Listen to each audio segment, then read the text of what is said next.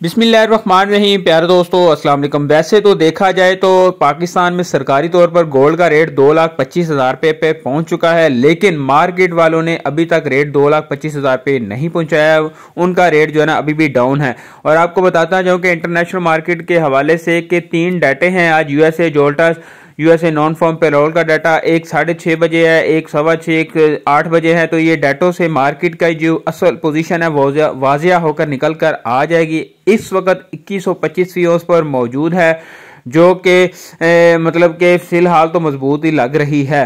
तो इसके अलावा डॉलर की बात करें तो टू सेवेंटी नाइन शरिया तीस बाइंग और टू सेवेंटी नाइन शरिया पैंसठ सेलिंग है। आज तकरीबन पाँच पैसे इसमें इजाफा हुआ है और गोल्ड के रेट की बात करें तो गोल्ड का रेट तकरीबन कल वाला ही चल रहा है। दो लाख अठारह हज़ार सात सौ रुपया। सरगोदा सिटी में पठूर गोल्ड का रेट है और आज के पीस के रेट की बात करें तो दो लाख बाईस हज़ार रुपया, पठूर का दो लाख उन्नीस हज़ार पाँच सौ रुपया, लाहौर सिटी का।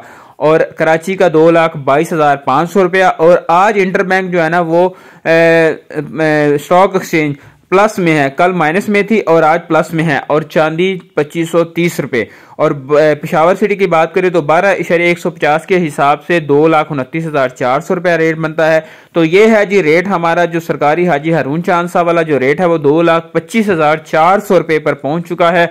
लेकिन हमारा जो गोल्ड का रेट है, वो हमारा हाजी हरून चाँद वाले से बहुत ज़्यादा ऊपर था, वो अब काफ़ी डाउन हो चुका है, क्योंकि वो इंटरनेशनल मार्केट को लेकर चलते हैं, लेकिन जो हमारे गोल्ड वाले हैं, जो हमारे गोल्ड का रेट निकालते हैं मार्केट का, वो पता नहीं किस हिसाब से रेट निकालते हैं। पहले वो अप थे, अब वो काफ़ी डाउन हो चुके हैं।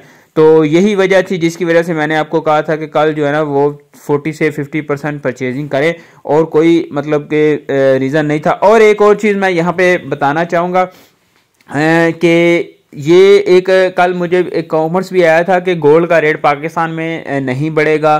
तो इस हवाले से एक भाई ने कॉमर्स किया था कि आप कोई और जो है ना काम करें, ये गोल्ड वाला काम ना करें। तो मैं आप दोस्तों से गुजारिश ये करता हूँ कि मैं जो वीडियोस बनाता हूँ, ये उन दोस्तों के लिए बनाता हूँ जो ऑलरेडी गोल्ड में बैठे हुए हैं या मार्केट वाले हैं जो गोल्ड का काम करते हैं, जो मार्केट के अंदर सराफा मार्केट में मौजूद है।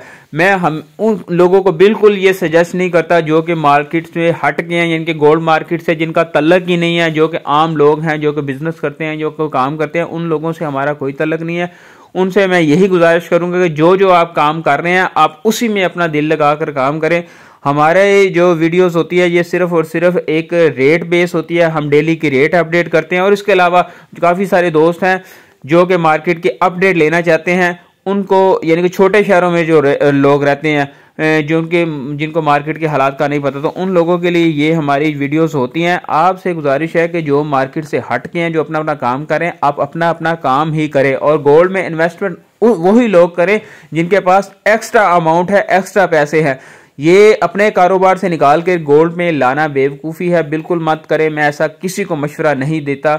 और ये वाला मशवरा मैंने आज से तकरीबन छः माह पहले दिया था, जब मेरी वीडियोस पे दस दस, बीस बीस हज़ार, पच्चीस पच्चीस हज़ार व्यूज़ आते थे, तब मैंने दोस्तों से कहा था कि आप अपना काम जो है ना कोई और अपना अपना काम में चले जाए अपनी अपनी फ़ील्ड में चले जाए। इसीलिए सिर्फ़ आजकल दो से तीन हज़ार व्यूज़ आते हैं। इसी की वजह यह है कि मैंने खुद उन दोस्तों से कहा था तब डिफ़ॉल्ट की बातें हो रही थी। उस वक्त ये बातें मतलब मैंने मतलब ये गोल्ड में आए थे लोग, लेकिन उसके बाद अपने अपने कारोबार में वापस चले गए हैं।